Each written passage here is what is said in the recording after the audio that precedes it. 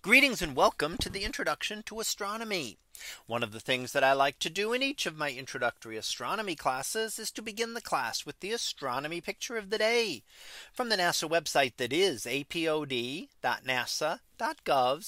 apod. And today's picture for June 20th of 2023. Well, it is titled the Nandu in the Milky Way. So what do we see here? Well, on the left hand side, we do see an image of our Milky Way.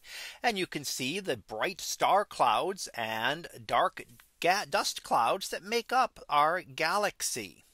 Now, as we see it there, we notice that it is not uniform that the part towards the bottom seems to bulge out a little more. And that's because we're looking towards the central portions of our galaxy.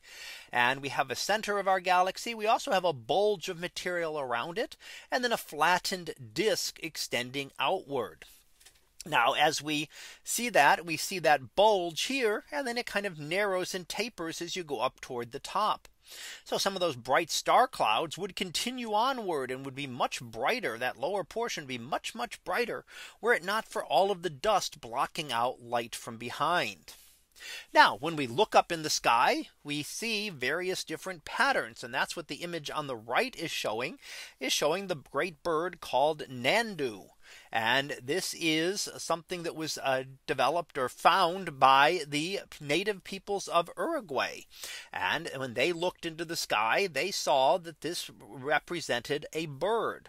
Now you can see how it kind of fits that on the right hand side where the sketch is added and how that bulging portion in the lower part of it is the body of the bird and then the long neck stretching up and the dark cloud up towards the top of the image being the head and then beak of the great bird. So you can kind of see how that pattern got to be named there.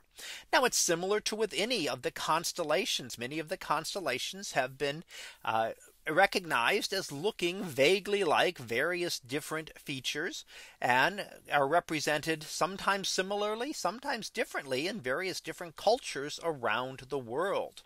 So here we get to see one in terms of uh, a vis visualization of the Milky Way and identifying the Milky Way as something a little different than just our galaxy as what within it. Now remember, of course, we did not know about that. We did not know what our galaxy looked what our galaxy was for a long period of time. It was just a milky patch of stars going across the sky. And of course, now that we better understand it, we have a better knowledge of our Milky Way, but we can still appreciate what ancient cultures saw in things like here with the Nandu bird and with the identification of various different um, constellations and other objects that have been seen over thousands of years. So that was our picture of the day for June 20th of 2023. It was titled the Nandu in the Milky Way. We'll be back again tomorrow for the next picture. So until then, have a great day, everyone. And I will see you in class.